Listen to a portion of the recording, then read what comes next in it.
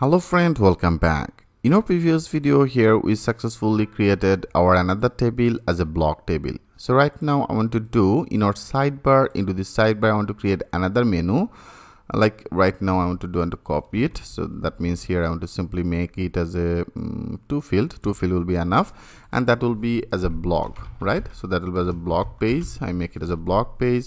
And for the blog page that will be the same. I want to name it as all blog and also another will be as a add blog right? Add blog perfect.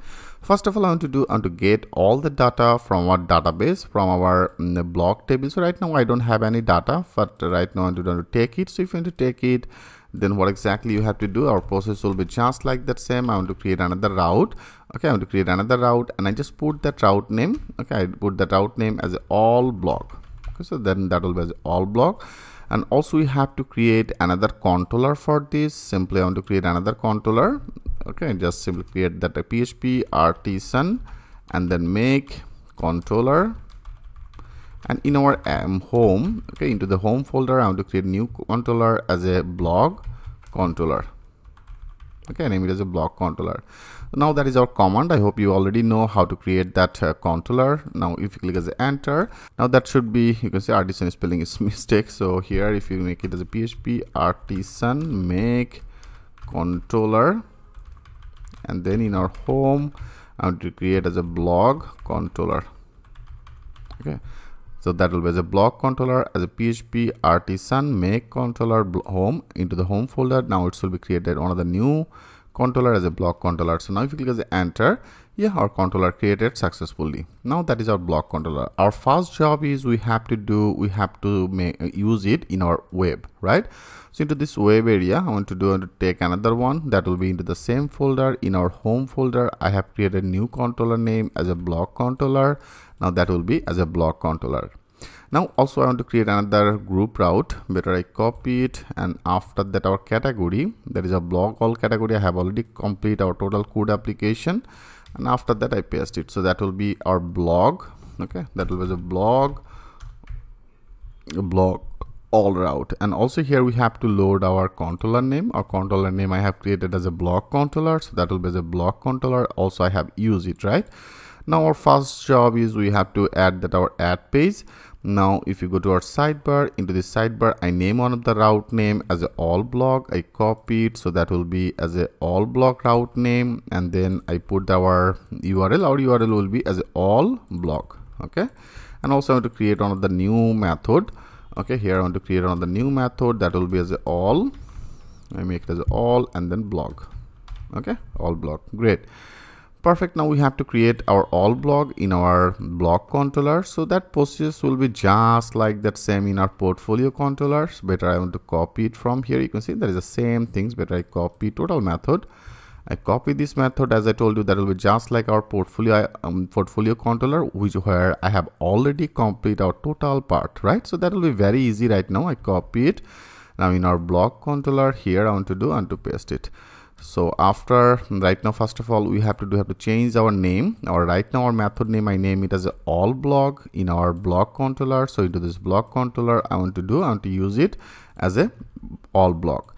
And then also we need to add our um, model. So first of all i want to do to better copy some of the things which will be needed. I copy it and then here I want to to paste it I simply loaded our model name. Our model name here I have already created our model name as a blog right? So now that will be as a blog.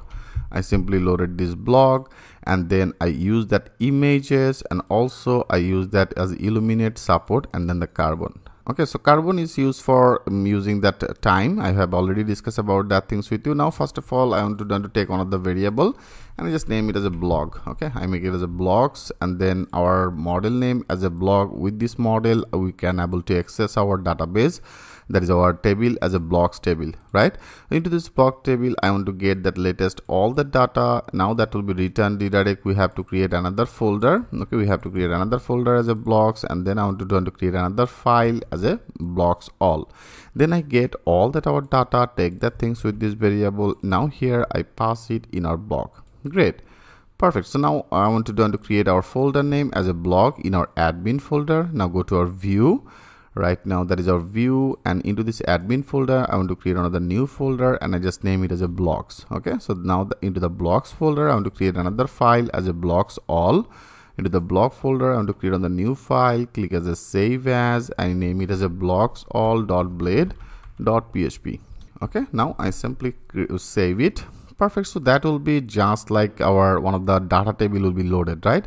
I have already loaded the same things in our portfolio. If you go to that our all portfolio right now i copy everything from here. And now in our blog here i paste it right? Friend now i want to done to customize it for our blog. Like that will be as a blog all okay? That will be as a blog or blocks all whatever you choose. Now i want to do and that will be blocks all data. So for the blocks all here if you go to our database right now there is a category will be loaded title will be loaded image will be loaded block tags right? And description i don't want to display the description only that block category. So i make it as a serial number and then that will be as a block category. Okay i name it as a block category so that be a block category and we need that our mm, block title and block tags and block image right? I want to to make it as a block title. That will be as a blog okay block title. And then that will be as a block Im image. Better i want to take another field. Okay i take another field that will be as a blog tags. Tags. Perfect. Now i want to do i want to load that block category block title block tags and then that will be as a block image. Okay so now i make it as a block image and then that will be as an action. Perfect perfect.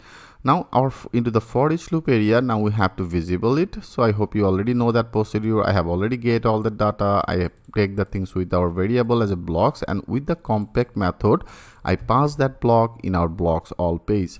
Now we have to do have to receive all the data by the blocks. So in our for each loop is started and that is our ended now i make it as a our blocks i hope friend at that point you already get that all that process how that functionality actually executed right? That means laravel functionality executed. Now i get that all data in here i make it as item so as I told you friend, if you want to change any name, you can change it. Right now for better understanding, I'm using that item. Okay, so now first of all, we have to display our serial number. So that is a serial number. Then I want to display the category. So now that is the one of the trick friend. Like that is our block category. If you go here, you can see that that should be one of the ID. So I want to do uh, when if you go to our another table, another table I have created as a blog, right? If you go to our database i have already created another one that will be as a block category. Here i want to visible our block category name.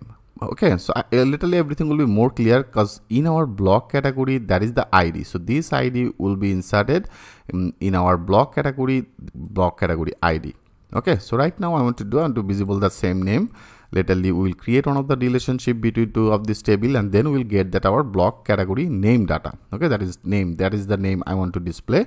So right now i want to do that will be with our item i want to display our database field name as a block category id and then that will be our title right? Better i want to copy it and then i paste it. So after that that will be as a title our title field name. If you go in our blocks table our title field name as a block title i copy it that will be as a block title and also I want to display the block tags. So that will be as a block tags and then the image. For the images I name it field as a block image. I copy it so then that will be as a block image. With this item I want to access our block image. Great great. And also that's all. So now that is our edit and then delete functionality. Now that should be display okay friends. So now that's all. If you now click as a save all and now if you go to our page in our back backend now click as a refresh. Now that should be loaded another one as a block page and that is our all block. Okay? Right now i don't have any data but you can see our field is visible as a serial number block category block title block tags images and then that is our action button. So now we have to do we have to insert this data. Right now they have no data for the reasons it's now display as a blank. So in our next video i want to discuss about how to add some of the blog okay? How to add blog in our database table. In our next video i will show you that things with a live example. So thanks for watching and i will see you in the next video